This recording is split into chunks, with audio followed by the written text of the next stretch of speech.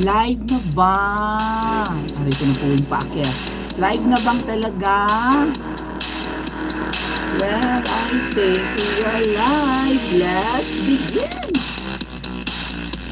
Begin, begin, begin! Hello mga Mawinians! Mag-live tayo dahil hindi ako nakapag-live kagabi na pagoda na naman akyas. Ay, iba ang epekto ng init sa akin mga tat. Kuya, hinihingal-hingal akyas. Oh, kailan ba uulan? Diyos ko na nga, hindi pa tayo nangangalhati ng April. Bumiyahe na naman ang kuting. Charot. hindi nangangalhati pa lang tayo ng April. Hindi pa umuulan. Kailan uulan? Oh. Hindi pa tayo nangangalati ng April, bumiyahe na naman ang animal, pampainit ng Pilipinas lalo. Diyos ko, sarap buhay ang inanita. Tayo nagtiti sa Pilipinas, mainit, marikabwak, malagkit, mausok, mabawa. Yung isa naglalamierda abroad, Diyos ko po, Miss Marlica, nandyan sa Anemika, yung best friend mong kuting. For sure kasama din si, ano, eh, si Butod, di ba? Oh, anong dapat mong gawin? Baka pwedeng sugurin mo yan sa kung saan man gaganapin yung kanilang trilateral kuning-kuning summit uh, plaque to do whatever buisit. Teka lang. Oh. So kakasuhan na naman si Miss Maharlika and mga ate at kuya tuwang-tuwa ang mga Enchaimada vloggers. Nagdiriwang si Diyos ko po mga Ensaymada si Miss Maharlika ang inaabangan ninyo. Masyado kayong affected. Ini-ignore-ignore naman kayo. Basahan naman ang turing sa inyo sa palasyo. Diyos ko po. Grabe ang inyong pagsamba. Nakakarimarim ah ah Ate Max Lasqueti, unang-unang nakapag-comment sa ating uh, main, cha uh, main backup channel. Hello, hello sa mga uh, sa mga oh, almost ano na tayo, ah, almost 6k na po tayo dito sa Princess Maui 2. So salamat po sa mga pioneers na mga subscribers ng ating backup channel. Oh, naka-ready na ba yung live natin sa kabila? Parang hindi pa naman. Teka lang, i-set ko lang. Ah. Alright. Hmm. So ka tama ako, 'di ba mga tat kuya, kaalis lang ni Hello Kitty kahapon, umalis na naman naglamyard. Ay ano 'yon? So ka tama ako, 'di ba mga tat kuya, ka may feedback ang lola mo. Hmm. ano ba? Hmm. Hmm.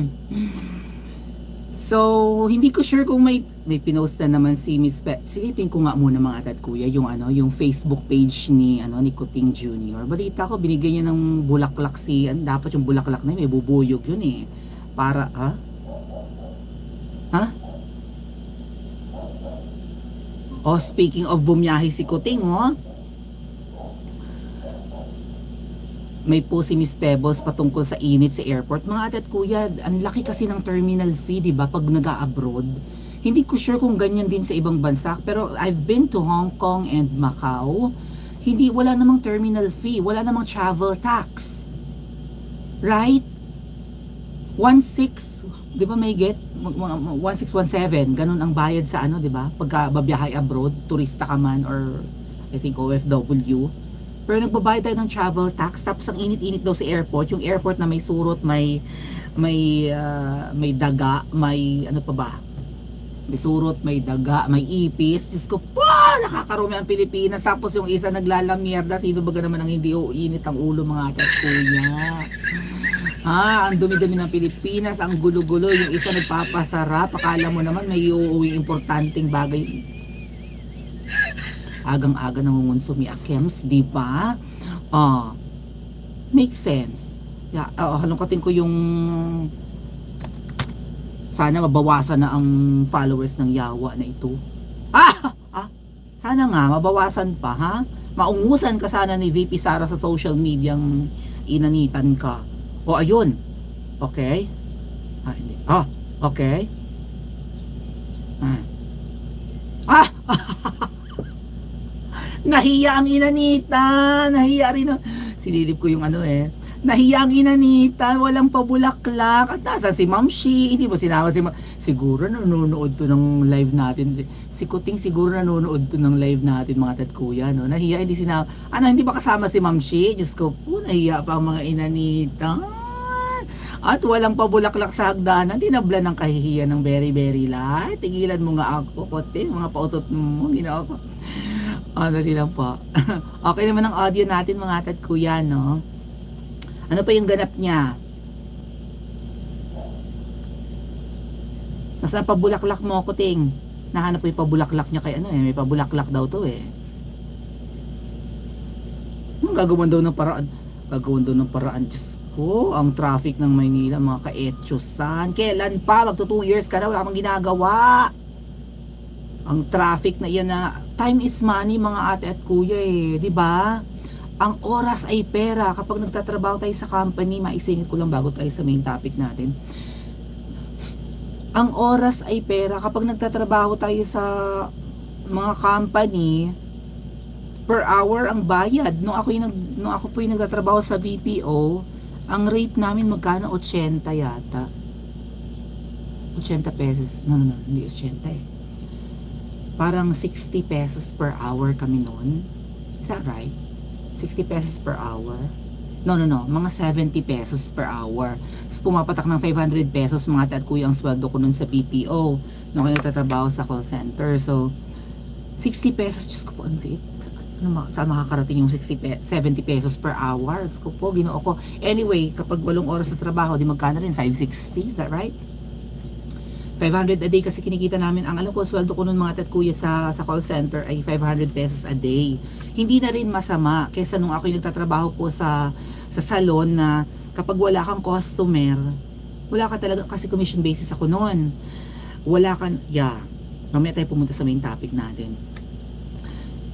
So, kesa nung nagtatrabaho ako sa salon na ang sweldo ko ay uh, commission, uh, through komisyon, kapag wala kang customer, uuwi kang luhaan, naligo ka ng masahe, kumain, nagpabango, wala kang gawa umulan, nag-brown out. Diyos ko po, mga pagdurusa ko nung araw, mga tat kuya. diba? So, waka, nga nga ka. Zero ka, nag-aasosan ka pa nga. Oh. Ganun kasi commission basis, hatian ka agad eh, no? Um, So, sa, nung nagtrabaho ako sa BPO, malaking alwan, 500 a day. Pero mga atat kuya ngayon, ng 500 a day. Although, parang provincial rate na rin naman na yan. Manila rate kasi ang, ang 500 a day, ang alam ko eh. No? Pero kami, kahit nasa probinsya yung call center uh, company namin, medyo ano na yun, pride na namin na ang sweldo namin ay above the salaries of teachers in pub in, in private. Magkano rin ba si sweldo ng mga teachers in private? Kung halimbawa 10k a month, pumapatak lang siya ng 350 pesos. Parang ganun, no? Mga 300, above 300 pesos lang. Whereas sa call center po, ang sweldo namin, nasa 500 mahigit. So, natatalbugan pa namin ang mga teachers. Kaya marami akong classmate, mga ate at kuya, although graduate sila ng ng education program, nagtatrabaho sila sa call center kasi may ibang call center na 1,000 a day ang bayad. Bongga na, di ba? So, yeah, dapat naman practicality. Kita nyo, hindi ako ayoko magturo. Hindi ako naengganyo magturo. Kasi maliit lang sweldo. Kailangan ko magsimula in private bago ako tumawid ng public at kailangan ko muna pumasa ng board. At may board nga ang paparating ngayong October ko niya ako nagkakamali. So, baka bahala na si Lord. Anyway, uh, yeah, ang liit ng yung 500 ngayon a day, Diyos ko, pang isahang tao lang yung kung eh. Hindi makakabuhay ng ano, ng pamilya sakto lang yung pangkain. Yung ibang mga expenses mo good luck. Good luck na good luck talaga yung 500 a day na yan. How, how much mo yung mga ano yung mga 300 a day ang kinikita? Paano na lang di ba yung mga minimum wage earners sa probinsya good luck talaga. Ko tingin una mo pang paggagala ni Malke eh. kaya na-imbier na kami. Anong survey natin? Ay mag-participate kayo sa survey natin. Ah, ah nag-aantay na yung main channel natin sa direktuan ako ng survey sa sa ating uh, Princess Maui 1 uh, sino ang dapat ma colonials.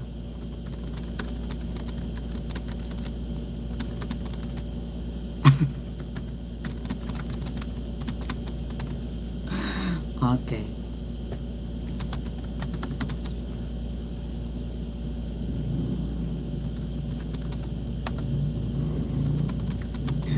Okay. Hmm. Hello, hello Ate Ana. Baka may uwi na nila yung barrels of gold at mga frozen dollars nila. Could be. Ate Rika Yoshida, Ohio gozaimasu. Nasaan po kayo ngayon? Para nasa Middle East po yata kayo? Hindi naman? Okay, start ko lang yung, uh, yung vlog natin sa main channel ha. Oh, quiet muna, Akems. Uh-huh. Uh-huh. Ay, So ko. this is your fairly. Mamaya, mamaya, Miss Marley ka mamaya. Ay, naod na pala. Ano ba yan? Masa na yun? Papakinggan natin yung mga babanggitin ni Miss Marley ka mamaya. Okay. Start ko lang yung live natin sa main channel. Quiet lang akyas muna.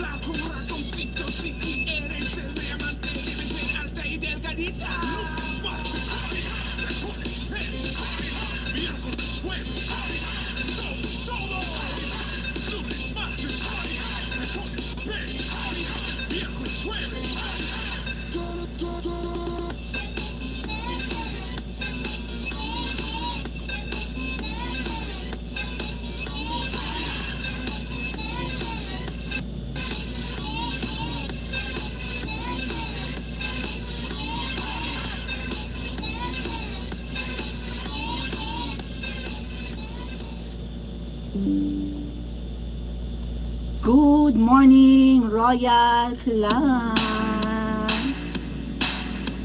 What's up, what's up, mga Mawinians? This is the Princess of the Universe, Maui Sensei. Welcome sa ating YouTube live stream. Okay. Mag-live tayo ngayon mga tatkuya, maagang maaga Philippine time. Diyos ko po. Hindi tayo nakapag-live kagabi, na, na, napasarap ang tulog ng inyong Principe, Principe sa pasensya na kayo ha. Marami lang akong binubuting-ting-buting-ting din sa ating mga gamit na pang vlog. Kaya medyo tricky mga tatkuya yung pag-update itong mga tools natin dahil yung ilang parts ng aking computer po ay luma. Noon may mga bago tayong idinagdag. So, yeah, maraming hindi, ako familiar sa mga ano, mga core connection nila. So, inara, yeah, naubusan ako ng oras kagabi. Uh, so, yeah, ganun. To sim, uh, simply put, naubusan ako ng oras. hindi na tayo nakapag-vlog na pagod ang katawan lupa ng Pagpapaysa. Okay.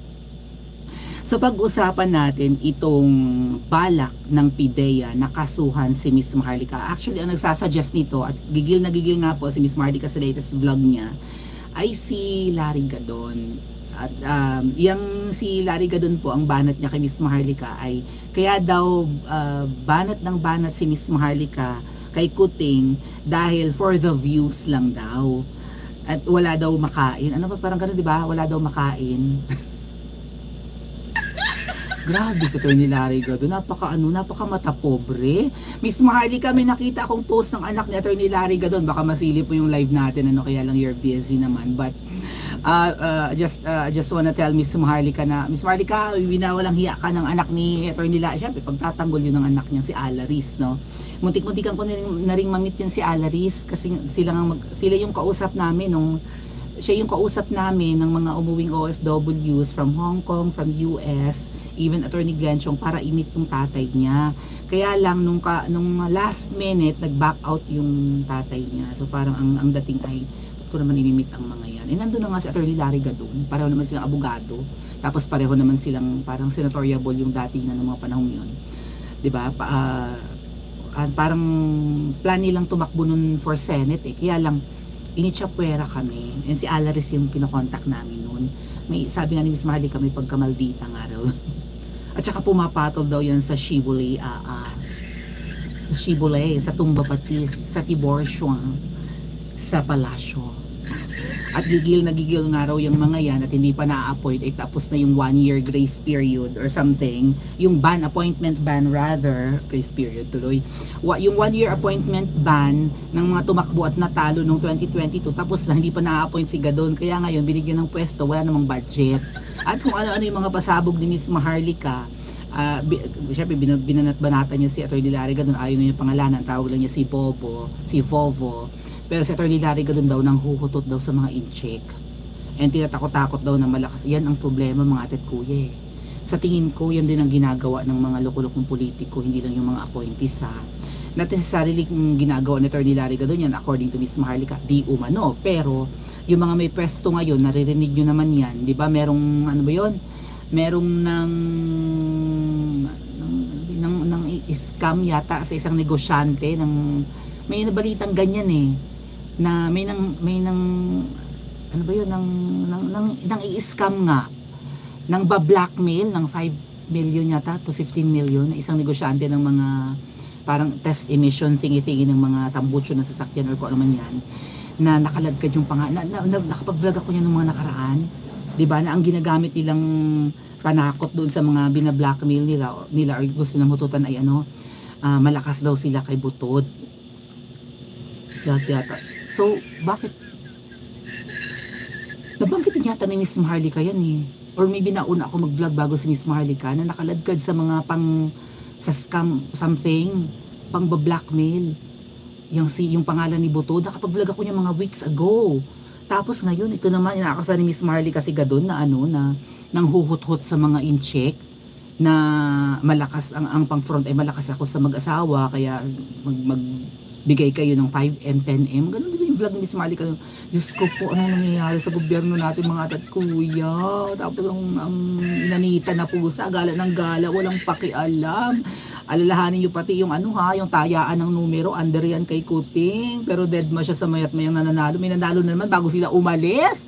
Sabi nga ni Miss Pebbles, nako may baon na naman papuntang anemika ang mga inanitan, yung, to, yung tinamaan sa low 1 at sa low 2 at sa low 3. Buisip ginoo ko. Mahina daw ang audio ko. Talaga ba? Mahina pa rin ba? Rinig ba? I-comment sa comment section. Mm. Rinig ba loud and clear? Oh. okay. Ah, baka pagka ano, pagka nag, nag sound effect ako, no? Oh. Comment nyo nga kung mahina ang audio natin. Kung nagsasabi na totoo si Annie113, asterisk kuning-kuning. Oh. Walang travel tax or terminal fee sa New Zealand. Sana all. Baka pwedeng pumunta na dyan. Sabi ni Ate Marga, loud and clear naman.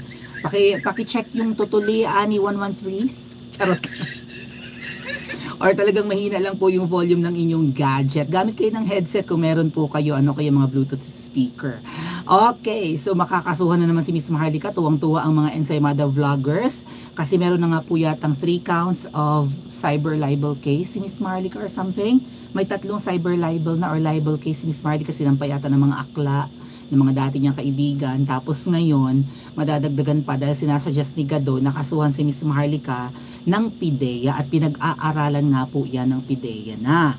Oh. At tuwang-tuwa ang mga ensaymada na hindi hindi, hindi, na lima, hindi nila ma-promote ang administrasyong puting, inaabangan na, lang, na lang nilang mag-vlog si Miss Maharlika at, at kukontrahin. Yun ang kanilang mission bilang vlogger, ang abangan ang vlog ni Miss Maharlika. Ma-share ko lang mga ate at kuya, no? Yung mag-ano kayo, participate kayo sa survey ha. Ma-share ko lang, um, baka, sumisilip-silip pa rin dito ang isa sa mga ensaymada. Hindi ko na lang siya pangalanan kasi kahit paano kaibigan ko naman siya, no? Pero syempre, magkaiba kami ng stand. Ako, anti-Marcos, siya pro-Marcos pa rin. Hindi ko alam kung ano napapala niya um, may mga ensaymada vlogger, hindi lang naman siya, na mga, syempre, mag, dati akong ensaymada eh, or dati akong sip-sip vlogger sa palasyo, okay? Natauhan ng inyong Principesa. Hindi naman natauhan, kundi nahalata ko lang talagang may sa, mm. may sa, mm. oh. Um, yung ilan sa mga ensaymada, hindi lang naman to iisa eh, magta-chat yan sa akin, or magta-chat sa grupo namin pala, sa group chat, may group chat kasi kami mga ensaymada nun eh Uy, anong pwede itapik ngayong araw? Uh, wala akong maisip na maitapik. Mga ganun, lalo pagka mga undas, mga mahal na araw. O yung mga walang ganap, magpapasko, mga yung mga walang masyadong, walang kabali-balita. No? nagtatanong yan, ano, anong pwede, anong vlog ngayon? Mag-suggest naman kayo ng ano, ng content. Uh, mga ensaymada, mahina ang kokote. Walang maitapik, samantalang ako natataranta na. Da, katulad niya, 1, 2, 3, 4, 5, 6, 7. O, 7, uh, 7 tabs ang nakaredy ngayon sa akin. Hindi ko naman ito madidiscuss lahat, pero syempre, siguro hagip-hagipin na lang natin no, yung iba. Natatambakan na nga ako ng topics, di ba? O, kung tutuusin, sila yung hindi dapat maubusan ng iba vlog dahil nga pro-admin sila eh. Kung talagang maraming ginagawang trabaho ang pusang ito, na pusang iring, iring na nga pusa pa, ay di ano, dapat i-promote nila, total sip-sip sila, di ba? At kapag sip-sip sila, dapat trending yung mga mga vlogs nila uh, in support of Kuting and Ahas and Tambi. Dahil 31 million ang bumoto dyan. O, o ngayon 7.4 ang millions ang followers ni Kuting sa social media. O bakit uh, hindi nyo ito, Diyos ko, lahat ng paninipsip nyo matutuwa ang mga naka, ang naka-follow at supporters ni Kuting, pati yung voters sa 31 million, dapat trending ang mga vlogs nyo. O, ay katulad ni SpongeBob na nilalangaw ang content, pati si Ipis, nilalangaw na rin ang content. Yung nakagat ng aso, wala na rin masyadong views. Tapos yung kaibigan kong millions ang followers, ma- ma- matumal din ang kanyang vlog. well, mga umabot naman 30,000, mga ganun 40,000 yung views. Pero Diyos ko po, nare-reach ko naman yung ganyang views. Lititan channel ko, si Miss Maharlika lalo na. Hundreds of thousands ang views tuwing mag magagawa ng content, lalo kapag mainit yung usapin. O, inaabangan na lang nila si, nila si Miss Maharlika. Dapat nalalamangan nila ang views ni Miss Maharlika. Tama ba? O, hirap na hirap kayong i-promote mo. Wala kasi kayong ma-promote in Saimada. Abang na lang kayo ng abang ng mga pasabog ni Miss Maharlika tapos kukontrahin nyo. Ah, abang, tuwan-tuwa sila nung nagkamali doon sa Unit 4C ng, ano, ng Rizal Tower, mga dat kuya. Kasi 4060 type, typo error lang naman yun nung gumawa nung ng pre, ah, 'di ba yung pre-operation report. Oh. Anyway, sa ating survey, please join. Walang daya 'yan. Ah. Sino sa mga sumusunod ang dapat makulong? Pag-usapan natin kung sino talaga ang dapat makulong mga dat kuya. Oh. Sabi ng kakaunti lang na nag-participate, si Miss Maharlika daw, wala di man na maka 10%, pero ang sabi po ng karamihan, si Liza vote, so taning-taning, kuning-kuning ang dapat makulong else. okay, mag-participate kayo. Malaman natin. Ba't hindi yun? Dapat, dapat, mara, dapat, kung kami ni Miss Maharlika at ng ibang mga vloggers, just, just like General Macanas, uh, yan yung mga banateros, sino pa ba? Mangilan-ngilan lang, di ba? Hindi, mabibilang naman kami sa mga daliri ng kamay at paa, yung mga bumabanat ngayon sa gobyerno eh. Ang daing ensaymada, vloggers mga at kuya, nung inalisan ko ang grupo ng mga sipsip sa palasyo, mga sipsip vloggers, 100 mahigit na sila. Baka ngayon 200, 300 na nga yung mga yan, kaya lang nagkakagulo nga. At nag-oonsehan. Ayun, yung tamang term, nag-oonsehan. so, oh, uh, where was I? Eh, dapat kami ni Miss Marlica ang nilalangaw ang content kasi kami parang mga bashers lang, 'di ba? Mm, sabi niyo wala lang kaming ma- lahat na lang ng lahat na lang na sinisilip namin. Wala kaming masisilip kung walang butas. Kaso mo tagtad ng butas na pilit nilang tinatakpan by filing a case. Mabuti si Miss Maharlika. Alam, alam niyo nakakaawa si Miss Maharlika. Siya talaga yung ultimate target eh. Pero in a way, okay din naman kasi nasa malayo siya at may support siya ng kanyang husband, ng kanyang mga anak, 'di ba? So yung moral support nandyan aside from the support of the viewers ng mga ng mga nagmamahal sa bayan, ng mga OFW sa mga nanonood sa kanya. What if mangyari to sa akin? Durog ako, mga tat kuya. Right? Na, nasa Pilipinas pa ako. Na, na, pareho akong nasa alanganin. Either magurgur ako, 'di ba? Or or masampahan ng kaso, kakabanat sa kanila, mabuti. Kaya sabi ko nga, okay lang na hindi malaki channel ko eh. At least kahit paano hindi sila maapektuhan sa akin, di ba? Pero kay Miss Maharlika, threat talaga. Dahil ang daming viewers, trending pa. Samantalang yung mga ensaymada, abang na lang ng abang na ikapupula kay Miss Maharlika, sabihin ng fake news, sabihin nilang bitter, sabihin nila na nabi ng peso, nilalangaw naman ang kanilang content. dapat dito sa, sa mga survey-survey namin na ito, dapat mas lamang yung ano, yung gustong, di ba, makulong si Miss Maharlika sa, sa pagpipilian. Oh, dapat nakaabang din yung mga ano supporter ni Marcos Jr. dito sa mga sa mga mumunti naming channel and kontrahin yung mga poll namin, yung mga surveys namin, walang daya ito. Kaya niyo i-manipulate, kaya niyo mag, 'di ba? O mag, mag mag-ipon-ipon kaya ah, nag-live si Miss Maui, tara. Ah, ah, sabotahihin natin ang kanyang ang kanyang survey ng mapahiya. Right? Pero every time na nag-survey tayo dito, lamang lagi ang imbier na kay Kuting, kay Jahas, kay Tambi, kay Taning at kung sino-sino pang mga lukulok po sa Pilipinas. Kaya yung mga ensaymada nila lang, oh, alam na this, for the money. Candy nga muna mga boy, mga po. Mga chikiting. Sorry naman.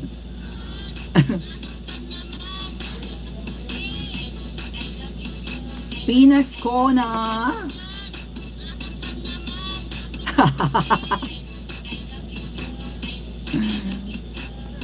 yan na nga yan, peanuts ko na. Sino yung SJJ?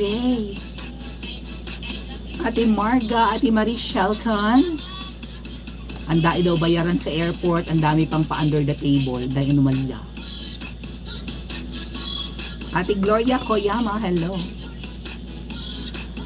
Ayan, wala pa man pong kulay sa buhay natin sa ating parehong channel. But I would like to thank po si Ate Alma Johnson. Nag-send siya sa atin ng 27 Swed- Swedish krona.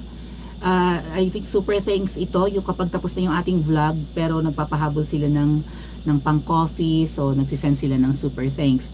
Also gusto kong pasalamatan ng aking ate from the US you know who you are ate? Nagpakulay pala siya nung huling live natin the other day. Hindi ko lang napansin kasi ratatat na naman ang bunganga ko. And also I would like to thank my ate from Japan sa kanyang bonggang bonggang pambili ng kakanin pang partner sa Coffee pa rin, ang init-init na nga ng panahon. Halo-halo naman. May boses naman na pwede nang abusuhin. Tama. Abusada si Maui. Ay, speaking of kakanin. Diyos ko nakakaloka. Ano, ano niya? Kitang-kita pala yung mga kapors-porsan ko dito. Mga, ay, ayan ba yan? Peanuts Corner?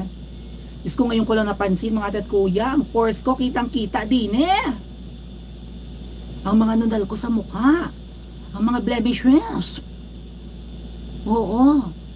Ang mga pinaggalingan ng aking mga pimples, syempre nani pa, kitang-kita pala din eh. Lalo pag lumapit ako sa camera, no? First time ko lang natitigan ng aking mukha sa ng malinaw-linaw mga ate at kuya. oh, yung mga nunal ko sa ilong, napagkakamali nila itong blackheads.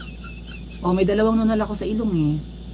Tapos may mga nunal ako sa mukha. Hindi nga ako nagpa-foundation mga tet kuya. May, may asthma kasi ako. Sabi ng kapal daw ng foundation ko, puti-puti ko. Hindi ako maputi. Madaya lang camera ko. Kaya kitang-kita ko nga ka-pores-porsan ko, oh. Oh. Diyos ko po, yung mga ugat-ugat ko sa mukha, parang halat. Ngayon ko lang napansin mga tet kuya. Ang lakas ang loob ko mag-vlog ng walang kolorete, di ba? Lipstick na lang. Dead man na. Ganun talaga, I'm not perfect. Marami akong flaws. Flawed ang Principesa. Ay, uh, parang may pakulay na. Kaya hindi nga muna ng pahingang lalamuna. Early bird, sino-sino kayo? Ate Rika ay nandito rin sa ating main channel, Mixbox. Pretty Emmy, Gordon Mo from Zamboanga. Buenos Dias. Wait, speaking of Zamboanga, speaking of Mindanao,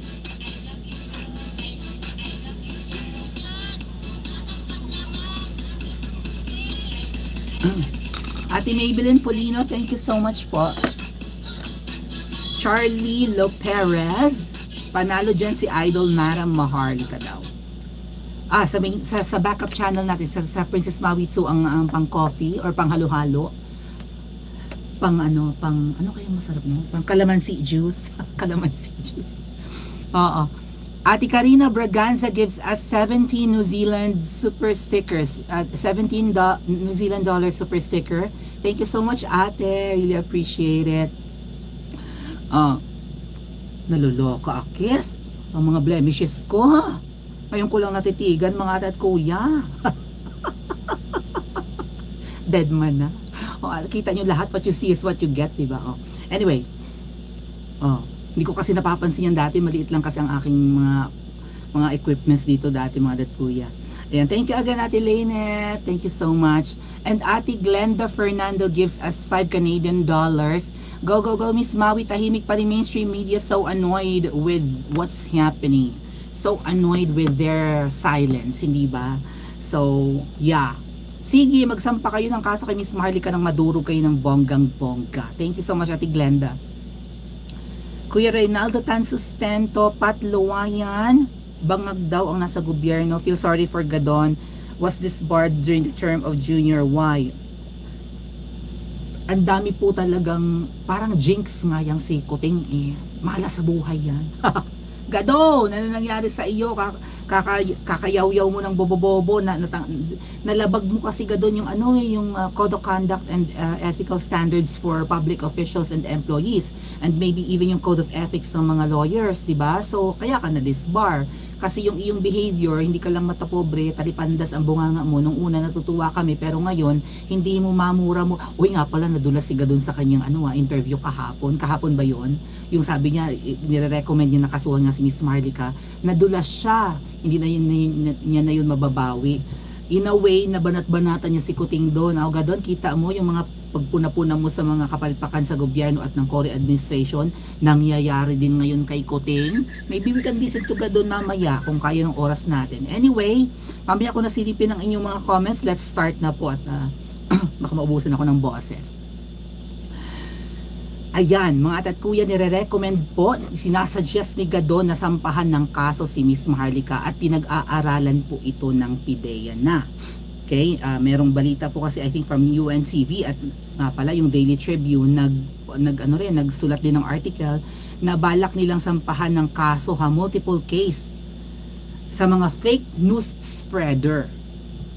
At nire-recommend ito ni Gadon sa PIDEA. So sabi naman ng PIDEA baka nga raw po sampahan din nila ng kaso si Miss Maharlika at ang mga fake news peddlers daw. Diyos ko po, fake news peddlers ang tawag yun sa mga kritiko ng gobyernong ito. Ang galing, ang husay, ang bongga. No? Oh, bakit kaso ang inyong itatapat sa mga kritiko? Hindi nyo sagutin, hindi nyo kontrahin. Hindi nyo gawa ng paraan na pasubalian yung mga expose ni Miss Maharlika siya ang, uh, siya ang ultimate target niyo eh, no? And even siguro yung mga tungaw vloggers na katulad ko, kahit ng mga maliliit na mga, I think ako ang pinakamaliit na vlogger, mga tat kuya eh, na, na kritiko ng administrasyon. Meron ba naglalakas loob na maging kritiko ng gobyerno ni Kuting? Ay, ang media nga ayaw bumanat, di ba? so, umalis na naman ang inanitan, di ba? Para kunwari, wala siyang kaalam-alam sa mga hindi ako ang may utak niyan ng mga sampa-sampang kaso. Ang mga ensaymada tuwang-tuwa. Oh, may post nga din yung isang ano, yung nakagat ng aso. Mm, anyway. Pinag-aaralang kasuhan si Miss Maharlika. Ang galing. Pero actually bago ito mga dad kuya, may recommendation na si ano eh, si uh, wrong move kayo dito. Kung kakasuhan niyo si Miss Maharlika, maling-mali. Dahil ang ang ang iniisip ni Miss Maharlika, ang utak ng mga ganito, panggigipit sa kanya o pagsasampa ng kaso ay si Butod at gumagamit na nga lang ng iba. In fact, sabi ni Miss Maharlika, yung parang kaso ng libel sa kanya, I think mga design, yung mga designers na mga kaibigan niya dati, yung isa doon yung maputi na ang apelyedo ay ano, katunog-tunog ng bakod. Ano yung bakod? Yung bakod, yung, ang bakod kasi sa amin yung ano eh, yung piseta. Yung pinakamaliit na ano na na coin dati. Na, naabot niyo ba yung coin na 5 cents? Bakod ang tawag nun sa amin. Ganun yung apelyido nung isang akla na nagsampa ng kaso kay Miss Maharlika. And sa tingin ni Miss Maharlika, utos yun ni Ahas. Kasi nga, si Ahas, syempre, hindi siya magsasampa ng kaso kasi nga iniiwasan niya ang negative publicity. Eme-eme na allergic sa ganyan. Hindi na daw uso nga yung mga ano, nega. Hindi na daw uso ang mga criticisms. Di ba? Ang paninirang puri. Hindi na daw uso yan asus. Dapat naman talagang hindi yan maging uso. Pero sinisiraan ba ang inyong puri or talagang sira naman ang inyong puri at, na, at sumisingaw lamang? Yun ang tanong ha. Yung aklang nababad sa suka, sabi ni Peanuts ko, na ano fa, ang puti nun. Diyos ko po, akala ko best friend sila ni Miss Marlica. Kasi ang saya nilang magkasama nung kami pumunta ng Okada eh. Dalawang beses ko silang nakasama, once yung si aklang maputi, and also yung isa pa yung nameke ng ano, ng na pinal na, 'di ba ng ano ng tagdo ng ng ng scam ng kliyente, yung tinanggal yung etiketa at pinalta niya. Umamin naman siya kay Karen na may interview yung akla na yun na. Umamin siya na tinanggal niya yung etiketa nang binili niya sa SM na Amerikana at pinalta niya ng kanya, tatawa-tawa pa siya. That's scam. Nagsorry-sorry naman, nagsorry naman daw siya. O ano, nagsasabi baga ng nagsisinungaling si Miss Maharlika, inamin niya. Anong sinasampan yung libel-libel? O, ang kalaban ng libel ay katotohanan. So, kailangan nila yung gawin para sindakin ang kritiko. I mean, kaya niyong sindakin si Miss Marlica. Maybe kaya niyong sindakin ang mga maliliit na vloggers at ang mga vloggers na nasa Pinas. Pero si Miss Marlica, hindi niyo kayang sindakin. No, gigil na gigil si Miss Maharlika kag- kag- kagabi. Pero, ang tawag dyan, magba-backfire sa inyo, mag, ano to, mag, magbo-boomerang sa inyo tong balak yung kaso.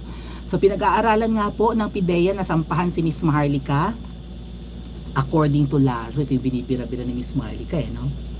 Ang nag ang ah, sir allegedly according to Miss Maharlika ang nag-appoint sa iyo ay si Butod at hindi si Kuting. Kasabwat ka raw sir sa mga sa mga anomalya. May dinibdiban ka raw na lawyer. Tanyo, hindi ako nagbablog patungkol dyan. Kasi nag-iingat ako. Kita nyo, hinahinay lang ako. Kasi, oh, but despite that, alam ko, nak- nakalista ang pangalan ko, di ba, sa mga balak burgurin. So, medyo subtle lang ang banat ko. At at saka tingnan nyo, kapag ka masyadong matindi yung issue, hindi ako nagsasalita. Hindi ako nagbablog, hindi ko ginagawang main topic. Di ba? Kasi nga delikado. Biro mo mga ano to, mga mga mga uniformed men ang nasasagasaan. At nga pala ha, o ano ang sabi ni Miss Maharlika? Gigil na gigil siya.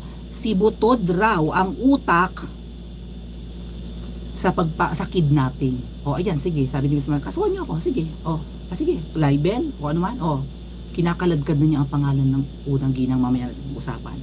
Talagang inaakusahan niya na kidnapper ang First Lady ang ginagawa ito ng First Lady or maybe ng mga supporters niya ay sila yung magsasampa for her para mapatahimik si Miss Marlica. Ay sa tingin ko kay Miss Marlica habang nasusugatan lalong tumatapang. That right? Parang VP Sara lang din ang dating ano. VP Sara, Diyos ko po. VP Sara, naku, ang daming, ang daming topics mga ko yan. Hindi ko ito mau- ma- mauubos. Kailangan ko talaga siguro mag-live ng twice a day man lang. Or, right? Dapat nga thrice a day, no? Dapat sipag-sipagan ko. ah. Mawi, laban, push, kahit mahina ang katawan. VP Sara, sinisiraan ng tatay mo ni Kuting ang animal na yan. Mamaya na lang siguro sa susunod nating live. Pag-usapan muna natin si Butod at saka si Miss Maharlika. Oh, pinag-aaralan na ang vlogger na si Miss Maharlika ay kasuhan ng PDEA according kay Lazo. At according din kay Gado, nire-recommend talaga niya na sampahan. May, sulat, may, ah, may article nga po dito ang Daily Tribune. Ayan, file cases versus fake news peddlers, fed- fake news spreaders, sabi ni Gadon. At ina-advise niya talaga ang PIDEA patungkol dito. Ang meaning ng PIDEA, alam niyo na, Philippine Drug Enforcement Agency, sila yung ahensya na oh kasi nakaladkad nga sila sa sa expose ni Miss Maharlika patungkol dun sa documents mga ano ah, permit to ah, authority to operate right and ah, yung ano yung casing and ah, surveillance yung pre-operational report na hindi naman syempre na-file kasi nga naharang daw ang sabi ng PIDEA gawa ng AI yung mga documents na pinresent ni Miss Maharlika pero ang sinabi, yan, sabi ni Gadon, nire-recommend. Galit na galit si Miss Marlica kay Gadon. Ha? Sabi nga ni Miss Marlica ay, Gadon, ah, kasi ang accusation ni Gadon kay Miss Marlica ay ah, nagba-vlog lang yan, banat lang ng banat sa gobyerno kasi wala na raw makain. Gra- gra- Sinabi mo yon sir? Colonel Larry Gadon? Wala nang makain si Miss Marlica? For the views lang ang pagba-vlog niya. Sir, parang ano naman, eh, hindi naman tumutugma yung sinasabi nyo.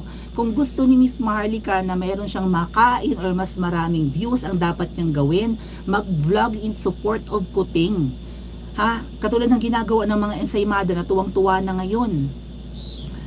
Na makakasuhan si Mas Mar- may dagdag na kaso kay katakot-takot na kaso ang binabato kay Miss Maharlika para masiguro nga 'di ba ma-exhaust din yung kanyang funds. Syempre kung sasapahan ka ng kaso, gagastos ka ng abogado, 'di ba maglalaan ka ng oras, maaabala ang maayos mong pamumuhay or yung 'di ba yung schedule of activities mo every day.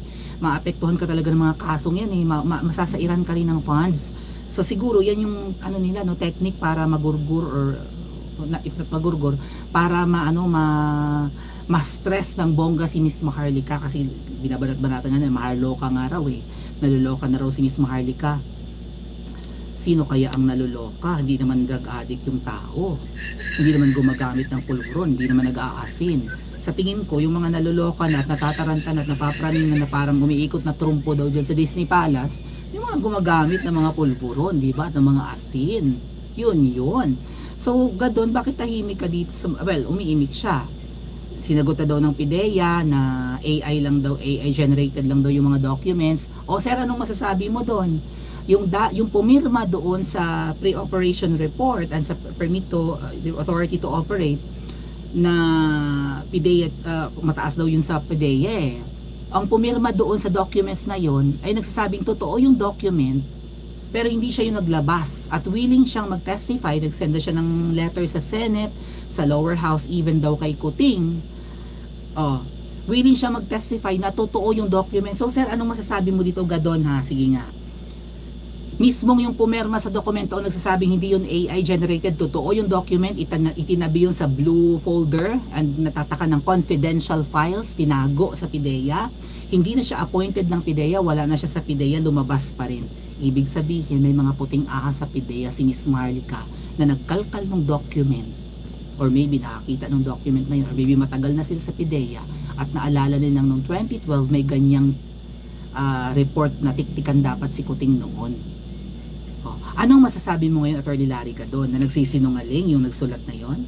Baka sabihin mo, AI na naman yung nagsulat na yun sa Senado at sa lower house. And nagsulat din yun, nakarating din daw yung kay Kuting according kay Miss Marlica. Totoo ang kanyang sinasabi, pumirma siya, titiktikan na dapat nila yung artista at si Kuting sa Unit 46C, dyan sa Rizal Tower uh, condominium sa sa Rockwell, sa Makati Sige nga, Sir Attorney Larry ka doon, imik nga. At kung gusto ni Miss Marlica ng, sabi niya wala daw lang, wala na raw makain. Diyos ko po, nasa US, may sariling negosyo. Ang alam ko mga dad kuya, hindi na nurse si Miss Marlica, kundi parang may mga hawak na siyang mga nurses or something, parang may agency si Miss Marlica or ganyan. Tapos parang may business na rin siya ngayon aside from that pinagkakakitaan niya na negosyo na, may another business pa rin. So, mara, mukhang multi, multiple na yung businesses ni Miss, Mar, Mar, Miss Marlica sa US. Hindi naman madali magnegosyo abroad ha. Usually, ang mga Pilipino abroad, nagtatrabaho. Like empleyado. 8 hours a day or maybe stay in kung kasambahay. Miss Maharlika, however, I guess nag-succeed na siya, nakapag-ipon na siya bilang nurse sa US, nakapagpundar, may sariling property sa US, kaya nga US citizen, may sariling lupa at bahay sa US, may negosyo, hindi lang hindi lang iisang negosyo, baka nga dalawa, baka nga mahigit pa. Kung tutuusin, hindi niya kailangang mag-vlog. Attorney Larry Gadon. Magkano lang naman ang binabayad ng YouTube? Kahit na nagla-live siya sa Facebook. For sure, lagi naman siya napaparusahan ng Facebook. Baka nga hindi monetize ang channel niyan eh. Kasino lang ang, ang makukuha niya dyan. Hindi nga, ewan ko kung marami nagpapakulay kay Miss Marley ka sa live niya. May mangilan-ngilan 'Di ba? Hindi naman hindi niya mabinabanggit pakulay kayo, pakulay kayo ha para may pangkain ako. Wala naman siyang sinasabing ganyan. At matagal na naming alam na tumutulong si Miss Marlica 20, 2015 pa. Bigla nga yung nagpapadala ng tulong. Even I have experience na napapadala ni Miss Marlica nang hindi ako nagsasabi. Nung nalaman niya ako yung nag-COVID, salamat sa aking ate from uh, from Japan, nabanggit pala. Sabi ko, sino kayo nagbanggit kay Miss Marlica? Tanong pa ako ng tanong sabi ko, sino kaya nagbanggit kay Miss Marley ka na nagka-COVID ako? Eh, sinikreto ko nga yun, nahihiya akong banggitin ako yung nagka-COVID. Yung pala yung ate ko from Japan yung nagbanggit. sa awa ni Miss Marley ka, pinadalan ako ng pambili ng ano, ng, ng gamot sa lagnat or whatever. And uh, yeah, Diyos ko po, ginoo ko nagbibigay yan ng hindi nagsasabi. Kita niyo yung sa SMA na yung ano, yung rally na yun ng sa, sa ano sa Liwasang Bonifacio. Kusang nagbigay si Miss Maharlika. Hindi naghihirap si Miss Maharlika at Larega doon sa US. Ay kung gusto niyang maging maalwa ng buhay niya, dapat sumipsip pa siya kay Kuting, kay Ahas. Lalo sikat si Kuting, di ba? 31 million nga. O kapag nag-vlog siya in favor of Kuting, di mas maraming manonood sa kanya, milyones ang followers ni Kuting eh. Oh. Despite those the, the popularity of Kuting na mukhang nagdedwendle na ngayon oh banat ng banat si Miss Marlica. Kung tutuusin wala nga dapat manood kay Miss Mar nung, nung nagsisimula si Miss Marlica ang bumanat kay Kuting nag-iisa lang yan eh. Nagulat nga kami ang binabanatan pala niyang babaeng ahas yung si Butod pala Akala namin ibang personalidad yung sinasabi ni Miss Marlica na babaeng ahas. Magaling din si Miss Marlica nun magtago ng sekreto kaya lang hindi na rin natiis. Eventually, ni-reveal na rin na niya ang babaeng ahas ay alam niyo na kung sino, yung butod. Kasama kaya ni Kuting sa pagbiyahe kasi wala, wala sa picture kanina eh. nakita ko yung yung yung post ni Kuting nung papunta niya ng US eh. Wala si wala si Butod doon eh baka mamaya nasa baba na naman si VP Sara at uh, may send off ceremony mamaya isnabi na naman ni Butod Siguro umiiwas na rin sa intriga si Kuting, no? O, Attorney Larry Gadon, paano yan? Ha? Gusto mong sampahan ng kaso, gusto mo, ini-encourage mo, yan na, president, basahin ko ha, Presidential Advisor on Poverty Alleviation. Ba't mo iniintindi itong mga sampa ng kaso kay Miss Marley ka, Attorney? Ang trabaho mo ay tagapagpayo kay Kuting para mabawasan ang kahirapan, poverty allevi- alleviation secretary ka. Ano ang kinalaman ng pag, pag 'di ba pag pagbawas nyo ng kahirapan or pagangat nyo ng buhay ng mga nasa ibaba, ng nasa grassroots sa pagsasampa ng kaso ng PIDEA kay Miss Marlica. Kapag sinampahan ng kaso si Miss Marlica sa US ng taga PIDEA, mababawasan ang kahirapan sa Pilipinas? Ano to mga pinag-aatupag mo? And Attorney Larry Gadon, totoo ba ang sinasabi ni, can you confirm or deny ang mga sinabi ni Miss Marlica? Hindi ka binibigyan ng budget ni Ahas, binigyan ka lang ng pwesto kasi kinukulit nyo ng kinukulit si Miss Marlica. Ay, si, si, si, si Butod. At Miss Marlica tuloy. Kinukulit yun ng kinukulit ng anak mo na jowa daw ng sek ng press ng ano ng ASEC diyan sa palasyo. So tumbuyita pala yung anak ni Attorney Larry. Well, dead ma. Uso naman na ngayon, yan ngayon, babae sa babae, lalaki sa lalaki bisexual, bisexual to bisexual, bi to bi, di ba? Uso naman yan ngayon, nagpapalakpakan at nag-iespadahan. Nagpopompyang ang mga tilapia at nag-iespada. Tsa. Uso naman yan ngayon yata. Oh, pati hindi ako nausuhan yan. Bongga ba yan? Palakpakan ng mga tilapia at ang scissor scissor, mga ganon, scissor scissor. Ko po. Oh, anyway, well, yung anak ni Atty. Larry doon na bumibira-bira nga kayo kay Miss, Mar Miss Marley ka, baka masilip mo yung vlog ko ha. Oh, itong anak ni Atty. Larry doon, oh, dapat sampahan ng kaso ang mga fake news peddlers na yan. Post ng anak ni Atty. Larry doon. Shinare yung link nung Tribune. Itong Daily Tribune na ito ha, talagang bakit parang bumabaliktad na kayo nung una finiture nyo yung pasabog ni Miss Marley ka, bigla nyong binura yung post nyo ha. Oh, ayan, anak ni Atty. Larry doon yan. Oh. Yung pangalan, Alaris. Oh, magandang babae yan. Pero ang jowa daw nito, sabi ni Miss Marlica, ay ASEC sa palasyo. Babae, Assistant Secretary or USEC. Most probably ASEC. If not USEC, no? Sino kaya doon? Ay! Kilala ko na! Totoo ba, Alaris? Ang jowa mo ay si Patring? Yung nakabubog, nakabungangaan ni Rox? Yung kalbong ensaymada? Na nangungupit? Parang yun yun. Hoy, Alaris, totoo ba? Can you confirm or deny? Jowa mo si Patring? Diyos ko, ginawa ko! Oh. Uh, anyway, Oh, dapat daw sa panakaso yung mga fake news peddlers na yan. So si Miss Maharlika yung nabanggit talaga dito sa video ni Attorney Larry Gado na dapat sampahan ng kaso ng PIDEA. And uh, sa tingin ko, hahantingin talaga nilang lahat. May listahan sila ng mga ano, kritiko ng gobyerno ngayon eh, no? So, sasampan ng kaso, tanim kaso, gagawa ng kaso, kung ano man ang maisip nilang kaso, no? Titiktikan, hahanapan ng paraan na masampahan ng kaso. Pwede rin tanim kaso, di ba malay nyo, pag nagagala ako sa mall or kung saan man, ang bag ko masyutan ng sachet ng pulburon. Ina, ateng. ako pa naman talagang proud na proud pa magbuk magbukangkang ng bag ko sa mga security guards ng mall, yung sa ano sa entrance ng mall, di ba? Mamaya nahagisan na nasyutan na pala ng sachet ng pulburon yung bag ko. Na, Diyos ko po, ginawa ko. Or kung ano mang pwedeng maging tanim kaso, di ba? para lang mapatahimik ang mga kritiko. Diyos ko po. Oh, nga pala, kung sasampahan nyo ng kaso si Miss Marlica, magba-backfire to sa inyo. Katulad na lang nung pasabog ni Miss Marlica at pag-usapan natin mamaya, yung pinaparinig ng boses na according nga rin sa mga ensaymada, kasi ito posto ng ensaymada yung isa dito eh na asiga dun. Uh, yan. May tatlong libel suits na daw si Miss Marlica. Yun nga siguro yung mga isinampa ng mga aklang kaibigan ni Miss Marlica dati. Tapos ngayon ay kritiko na. And then sasampahan pa ng kaso. So more to come sabi nung nakagat ng aso. Posto nung nakagat ng aso mga adat kuya. Tatlong libel suits na daw. Kaso is live. Tuwang-tuwa yung nakagat ng aso. Hoy, ikaw nakagat ng aso na vlogger. Wala naman tayong pinag-awayan. Pero parang gigil na gigil ka kay Miss Marlica anong sinasama ng loob mo yung binuking ni Miss Marlica na binigyan ka ng pera ng abogado na empleyado ni Kuting at Ahas? Di ba nang utang ka ng ano ba, magkano ba? 100, 200,000. Binuking ka ni Miss Marlica hanggang ngayon hindi ka maka, hindi ka makaget over. Nag-iyak-iyak kasi talaga yan siya eh, no? Kasi nag-iyak-iyak siya sa live niya. Gigil na gigil kay Miss Marlica yung nakagat ng aso mga at kuya. Oh. Na ang sakit daw talaga sa kanya ang sakit. Sa dibdib niya na, na yung kumagat na yung, yung kumagat na aso niya sa braso niya ay parang pina ano rin pina euthanasia rin pina, pinategi na rin yung aso so love na love daw yung asong yun pero wala siyang choice kundi ipa-euthanize or ipategi yata. Nakakremate pa nga raw yung aso dun sa altar nila eh. Nandun yung ashes yata yung urn nung aso sa sa bahay ni nakagat ng aso na vlogger. Uh, kasi love na love daw niya yun, niya yun. Kaya lang baka nga daw may rabies kaya siguro nagwala wala na nakagat nga daw siya. Sabi ni Miss Maharlika, nag, nag, humingi daw ng tulong yan si nakagat ng aso na vlogger, kilala nyo na yan kung sino.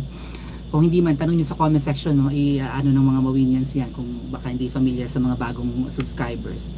So, yon Oh, humingi ng tulong kay sa isang empleyado ni Butod sa headquarters, yung nakagat ng aso. Sabi nung, nung gwapong lalaking yon wala akong pera. Teka, uh, ilapit kita kay ano kay Maharlika. So, sinabi kay Miss Maharlika na nakagat nga ng aso itong si nag-aabogado, no? O, nag nagluloyan siya. Ewan ko kung nakagraduate na yan. O.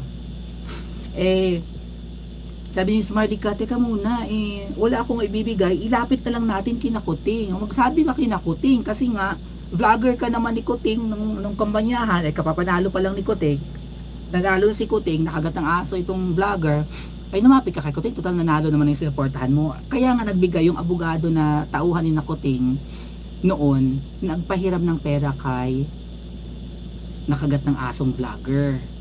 Uh, alam niyo yung kwentong yan. Kung matagal na kayo mawin yan, alam niyo yan, nagpa-vlog ko na yan noon. Tapos, yung pagbabayad, sabi ni ano, sabi ni nakagat ng aso, wala naman siyang maipakita ang resibo na nagbayad na siya ng 100k ba gayon? 100k or 200k, mga ganong amount. 100k to 200k yung inutang doon sa abogado na empleyado ni Nakuting. Kaibigan daw niya yung abogado. Yung kaibigan mong abogado, si uh, vlogger, na nakagat ng ayam, yung kaibigan mong abogado ay tauhan nga ni Kuting sa headquarters.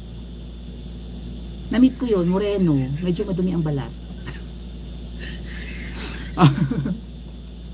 ang pangalan niya ay ang, ang pangalan niya ay attorney katunog-tunog ng attorney Apoy Attorney Apoy.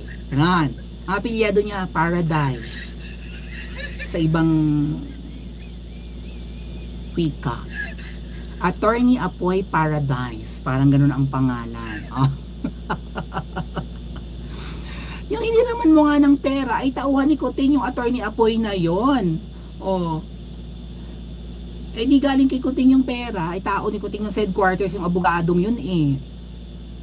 Tapos yung pagbabayad niya abuta, nag-withdraw daw siya sa ATM at nag-meet sila sa isang birthday party, may dala daw siyang alak, bumili daw siya sa landmark. Yun yung paniwanag ng vlogger na nakagat ng ayam.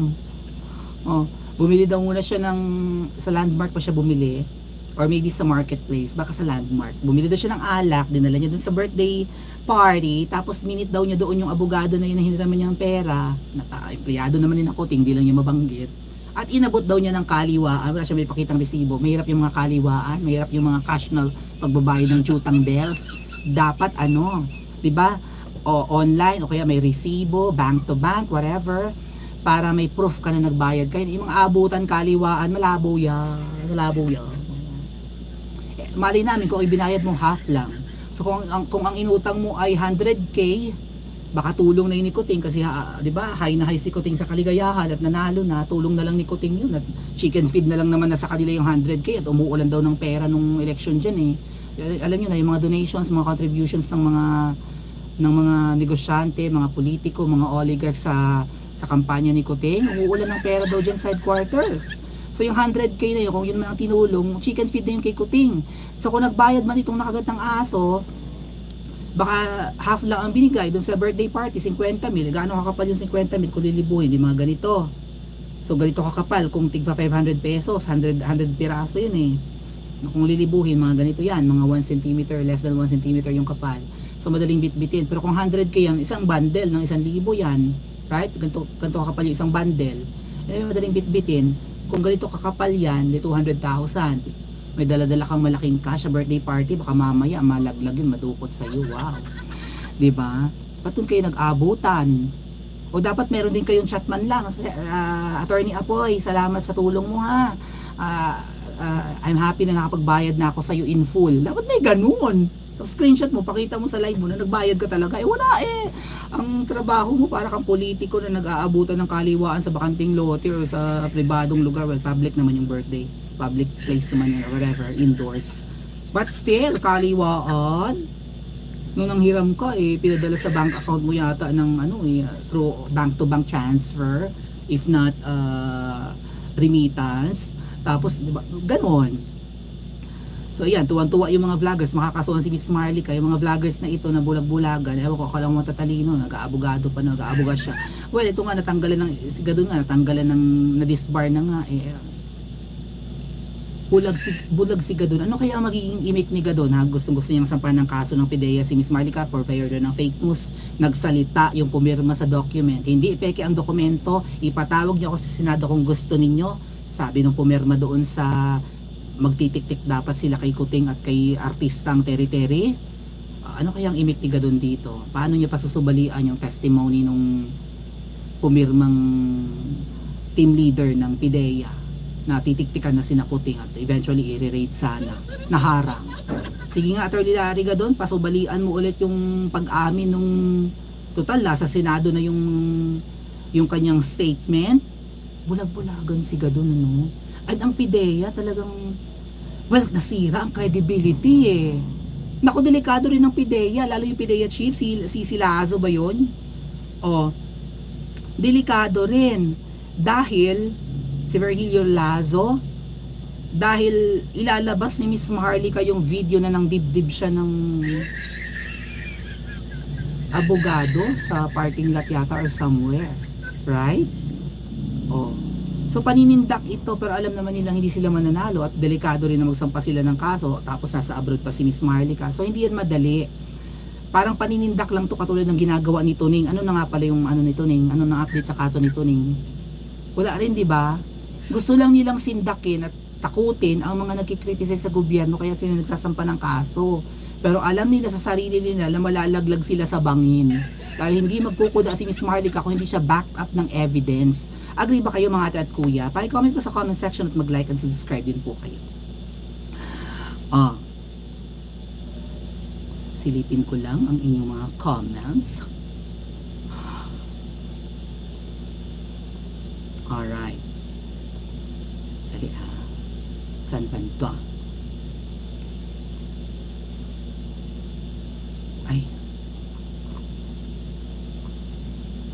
Bangag daw si Gadon. Bangag ba siya? Kayo may sabi niya na. Mm, sira daw ang tuktok ni Gadon. Ah. Aha. Bak bakong mukha ng si Jarrett, sabi ni Kuya Rogelio. Bako-bako ang mukha.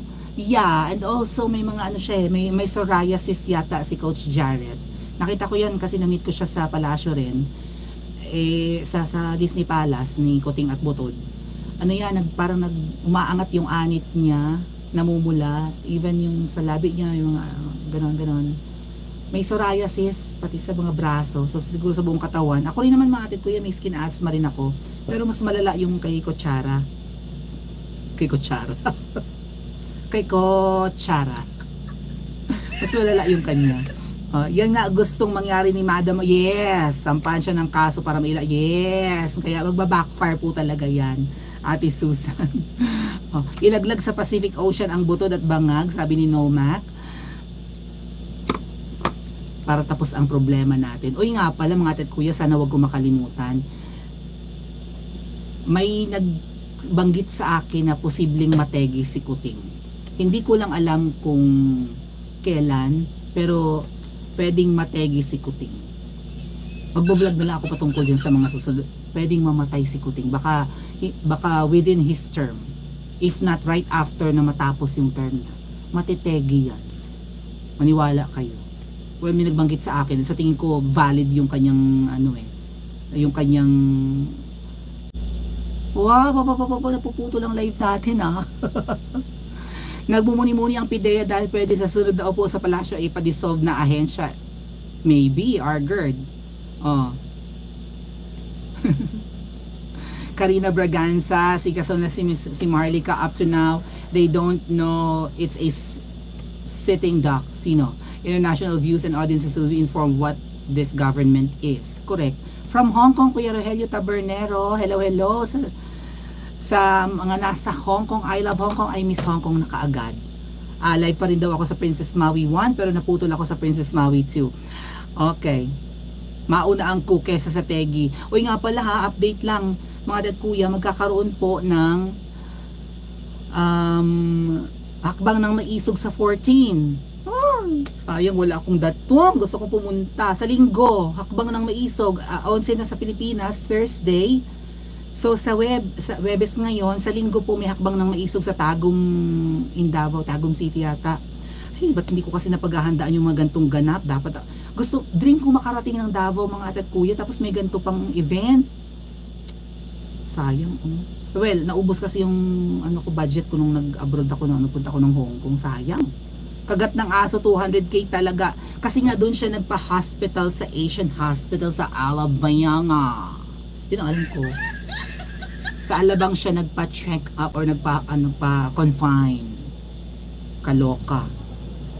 Ngayon nagbubulag-bulagan siya. Galit siya kay VP Sara ngayon. Nangyari, Diyos ko po, anong nangyari sa inyo? Sana milyones ang napapala nyo ha? Para worth it naman yung inyong pagbaligtad at pagbubulag-bulagan at pag, pagsusyunga-syungahan mga ensaymada at mga sip-sip vloggers. Okay, let's proceed to the next topic.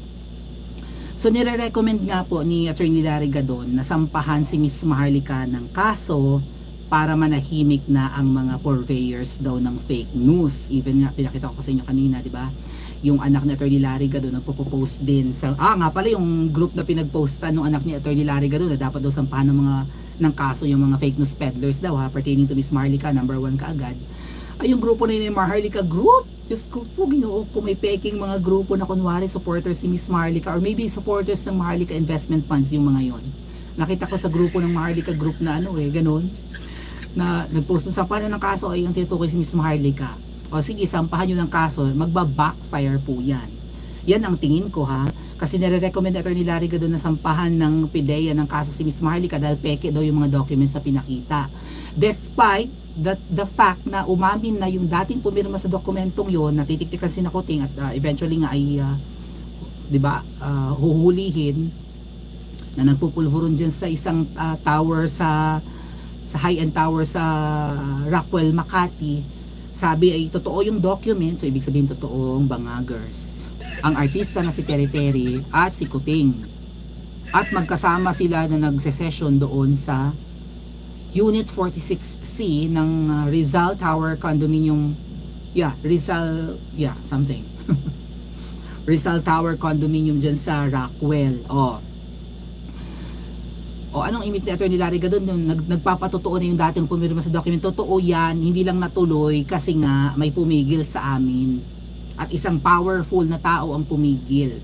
O ewan ko kung ano magiging imit ni Attorney Larry Gadon patungkol dyan anyway sabi nga po be, pwedeng mag backfire itong lahat. Marami even Miss Marlica alam niya pa, parang sa tingin niya yung mga kasong sinampa sa kanya yung uh,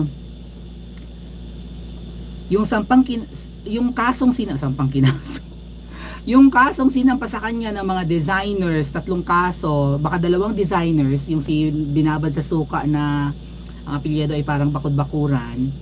Uh, and yung nameke ng ng ng binili sa SM na Amerikana at pinatungan ng pinaltan yung ng kanyang 'di ba ng tag yung ng kanyang etiketa yung at siningil ng mahal yung kanyang customer. Ay totoo naman pala eh, Diyos ko po, anong libel ang mga kinakaso nyo Miss, Mar Miss Marlica, scammer naman palang talaga. O so baka isa dun sa tatlong kasong yun, yung kaso rin ni Tuning. Di ba si Tuning nagsampa ng kaso ng parang libel kay Miss Marlica? At kinakalad ka daw sa kahihiyan yung anak. Paano naman nakaladkad sa kahihiyan yung anak ni Tuning? Eh si Tuning lang ang mga binab binabanat-banata ni Miss Marlica. Right? O, wala namang sinabi si Miss Marlica na ang anak mo ay ganito ganyan. Oh Wala namang, wala namang ikinas, wala namang, hindi naman siniraan ni Miss Marlica ang anak mo na teenager pa lang naman. Tuning, ikaw ang binabanatan ni Miss Marlica. Pautot-utot mo na nasisira ang buhay or naapektuhan ang buhay ng anak mo dahil sa paninira ni Miss Marlica. So may tatlong kaso na si Miss Marlica ng libel and then kakasuhan pa ng PIDEA. Sa tingin ni Miss Marlica ang mga kasong ito, ang, ang utak nito ay si Butod. Kasi ang, di ba, ang, ang pinaka-target naman ni Miss Marlica sa pagbablog si Butod eh. Si Kuting syempre, pero ang ultimate dyan si Butod kasi si Butod yung to- totoo namang si Butod ang sumisira sa sa administrasyon ni Kuting. eh. Siguro kung hindi si Butod ang nasusunod at si Kuting talaga, baka sakaling hindi ganito kalala. Right? Well, gusto rin naman siguro ni Kuting itong ang jowawawa niya ang nasusunod para siya ay hayahay. Hindi siya stress, hindi siya pagod. Right? Kasi mas matalino ang jowa niya eh. Mas malakas pa ang personality, abogado, yung teacher pa. Si Kuting, hindi natin alam ang tinapos. Right? Plano siya may pakitang diploma sa atin eh. Oh. Pero sa tingin ko, ang lahat ng kasong yan ay utos or may basbas ni Ahas. Pero pwedeng mag-backfire ito kay Ahas lahat. Dahil ang sabi ni Miss Marlica sa latest vlog niya, yung mga proof na si Ahas ay kailangan ready ko lang kasabwat at doon talaga niya binabanatan si si Ahas eh na or si Butod ikaw Butod ah, ik- well sabi ni Miss Marlica ikaw satana babaeng satanas ay kidnapper yun talaga ang banat ni Miss Marlica kidnapper ka oh at hawak ni Miss Marlica ang mga proof. Ang nakakagulat pa dito, kahapon lang yata inamin ni Miss Marlica doon sa program ni ni Dr. Lorraine Badoy at Ka Eric. Yun palang boses na, Hi Louie! I'm here in Bacolod campaigning for my hobby look. Yun pala ay hindi boses or audio na recording. Yun pala ay video. Ay, ang sabi po kasi ng mga sip-sip vloggers or ng mga ensaymada vloggers, mga tat kuya, ay AI lang daw yon yung boses ni ano, peke daw yung boses, hindi daw boses ni Smugs yon. Kundi AI lang or baka ginaya lang yung boses, 'di ba? Tampered or whatever. Yun ang gustong sabihin ng mga ng mga ensaymada vloggers or ng mga sip-sip vloggers. Yung pala, inamin na kahapon ni Miss Maharlika na ang boses na pinaparinig niya ay actually video pala. At sabi, may mukha ni Butod. Pinakita pa nga niya yung yung mukha ni Butod sa live niya ka, kanina, di ba? Or kahapon, latest vlog niya. Video pala. So, paano nila pasusubalian yun? Sasabihin na naman nila AI, sabihin nila deep fake. Kasi pwedeng gawin yung deep fake ngayon mga tet kuya eh. May, ah, yung mukha ng tao, kita niyo sa TikTok na may mga filter-filter na, di ba? Kahit na puro burog ang mukha mo, biglang may makeup ka na, or bigla, biglang may clown face ka, o kaya may ah, mukha ng aso or pusa. Sa deepfake, talagang papatungan ng totoong mukha ng ibang tao yung mukha mo. So, pwedeng yung isang tao ay magkunwari na si Butod, at mukha ni Butod ang naka, ang naka, ang lumalabas sa video, pero ibang tao yun. That's how deepfake works. Actually, may palabas ngayon sa US na deepfake, yung sina Ariana Grande, ginagaya si Kim Kardashian, silang sila. Pero yung gumaganap na tao, kaboses talaga nung mga yun. Hindi lang kamukha, kaboses lang. But since kaboses, pag nagsas ini-impersonate sina Kim Kardashian, sina sina Donald Trump at kung sino-sino pa, Barack Obama yata nandun din. At si Trump. May show na ganyan sa US eh, deepfake, deepfake na TV series na comedy yon na sina Ariana Grande nga na gayang-gaya nila yung boses pero hindi nila kamukha pero yung mukha ni na Ariana ng kung sino pa mga celebrities pinatong doon sa mga artista kaya kapag tiningnan mo akala mo si Ariana Grande talaga yung nagpapatawa na yun or si Mariah Carey or si Kim Kardashian or si Donald Trump ganun yung deepfake so pwede nilang ikatwira na deepfake yan AI yan yung video pinapakita ni Miss Marlica pero doon sa video na yan sabi ni Miss Marlica na nagsabi pa nga raw si Butod na "Ah, what do you want for pasalubong? Do you want piyaya or do you want inasal? Kasi sikat ang bakolod sa mga inasal eh, mga inihaw, sinugba na manok, mga ganun di ba? Oh. So, legit na video yun, Ro. Pwede mo kasi ipa-forensic yun mga adat kuya. Pwede mong patingnan yun sa mga, I, ah, mga IT experts kung yung video ay edited or tampered or raw yung video. Organic. Walang editing, walang na-manipulate na pixels or kung ano man. Pwede yung ipa- ipa-forensic. Sila ang, sila ang mananagot dito. 'di ba? Itong mga kasong isinasampa kay Miss Maharlika, feeling ko paninindak lang to at feeling ko magba-backfire. Kasi lalo ngayon, gigil na gigil si Miss Maharlika, pa- panoorin natin, pakinggan natin. At sinasabi talaga niya na kidnapper ang unang ginang. Matinding accusation yan. Dalawang issue yan eh. Adik yung puting at kidnapper yung buto. O, duh. Oh, sige, magsampa kayo ng kaso. Hinahamon talaga niya. Para ilalabas niya yung mga hawak niyang evidence, hindi lang documents, hindi lang papeles, video, raw footage. Malilintikan. And take note, walang mandato si Butod, hindi siya appointed, at saka hindi siya immune sa kaso. Pwede siyang kasuhan, pwede siyang makulong. So, kaya, kaya, ng unang ginang, nakasuhan si Miss Maharlika. Let's listen to her, mga atat kuya.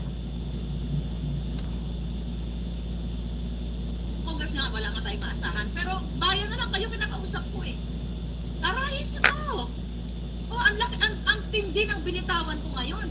Mas malapit sa pulburo na si Lisa Araneta Marcos. Kung ito ang pangalan niya, Maria Luis Cacho Araneta Marcos ay kasabwat o mastermind sa pagkidnap.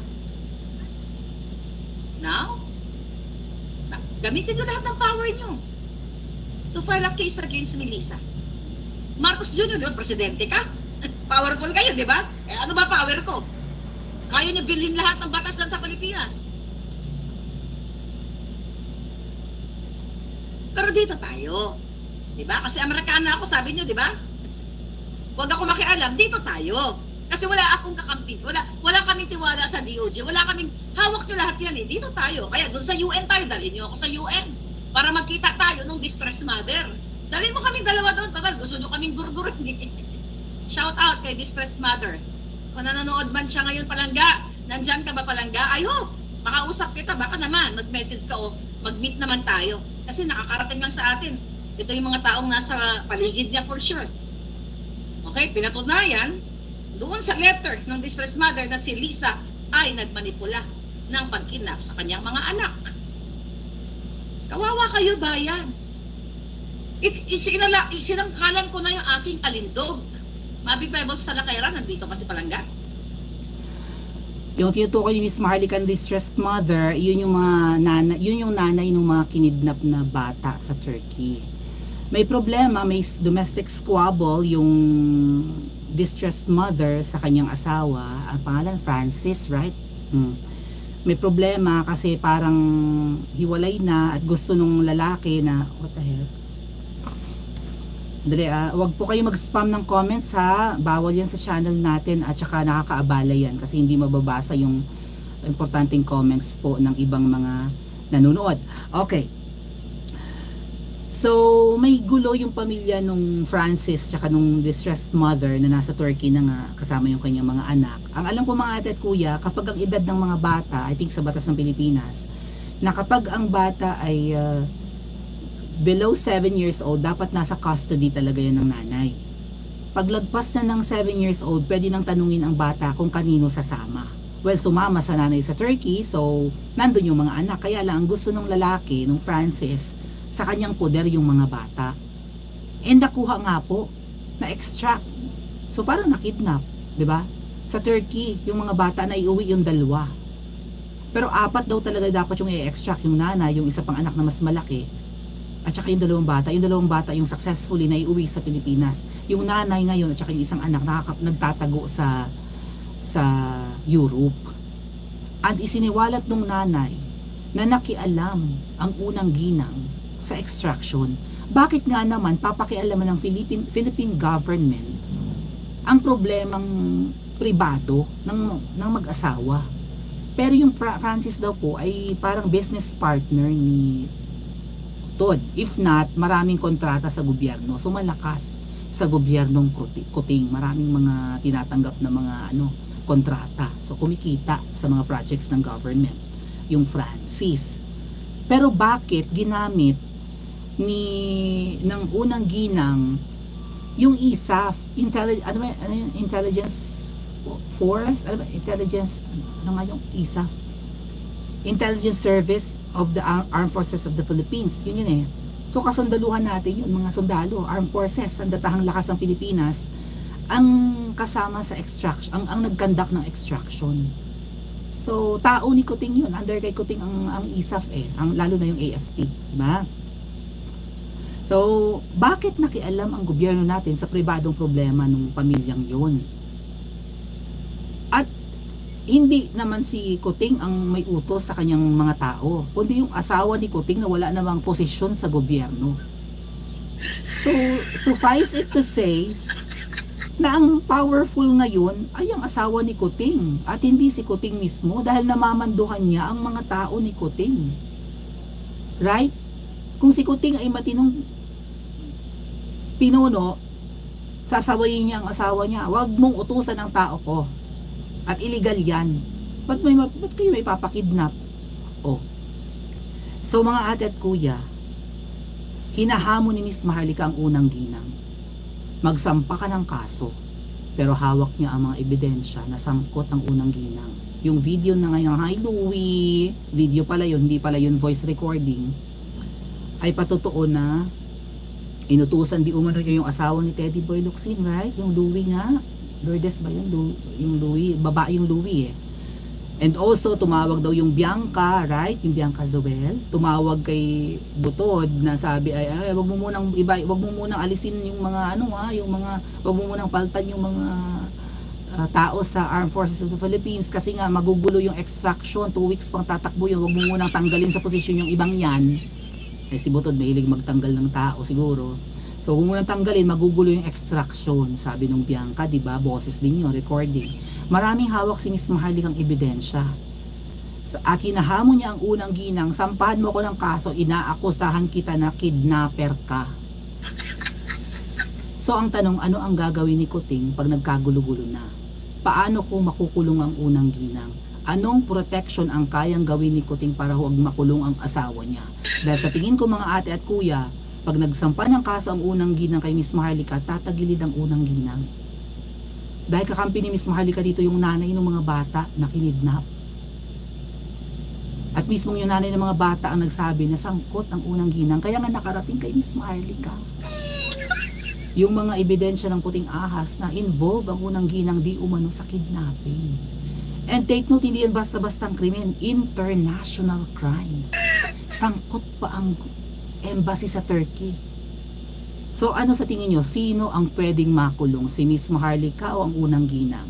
At sino ang makukulong na ikatutuwa ninyo? Pa-comment po sa comment section at mag-like and subscribe din po kayo. Ha? Kending muna ang lalamunan ko. Namamalat na naman. Oh. Agriculture Secretary. Oh my God. Oh. May posisyon sa gobyerno yarn.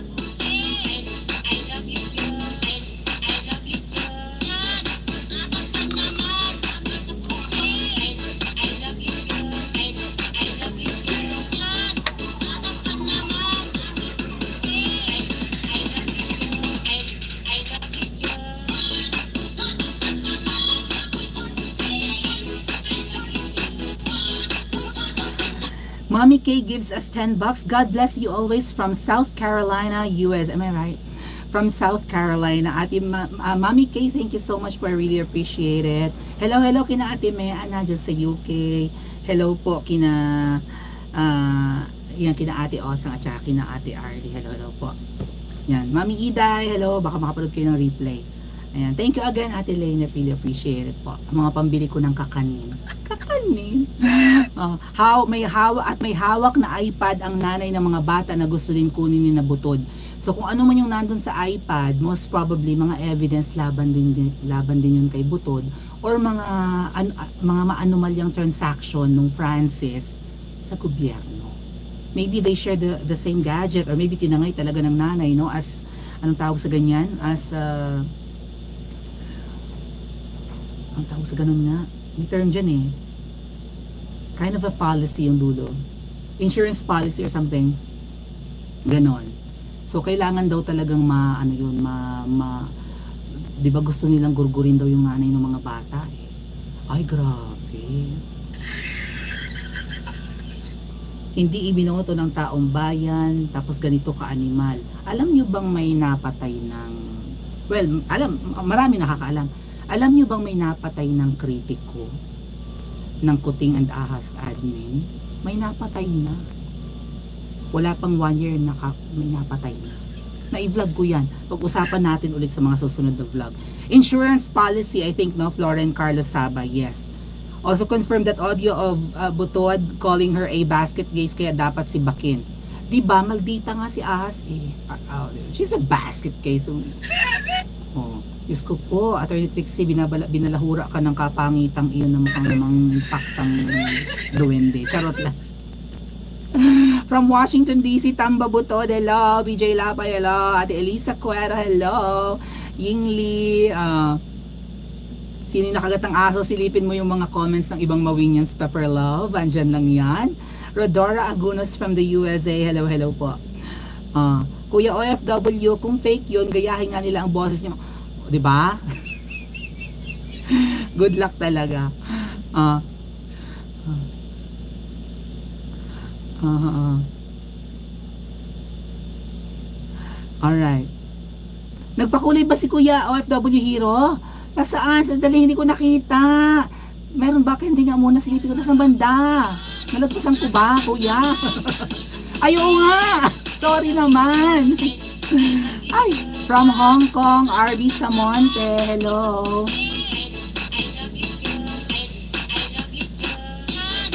Inday Tiborcia. Pangalan ni VP Sara.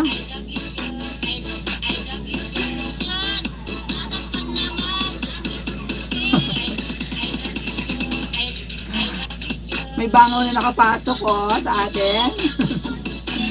sa ating Princess Mabito channel.